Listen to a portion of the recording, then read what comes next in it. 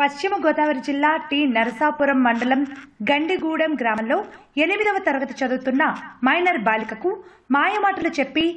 శారీరకంగా లోబరుచుకున్న గాలం రమేష్ అనే వ్యక్తిపై టి నరసాపురం పోలీస్ స్టేషన్లో ఫిర్యాదు చేసిన బాలికలు తల్లిదండ్రులు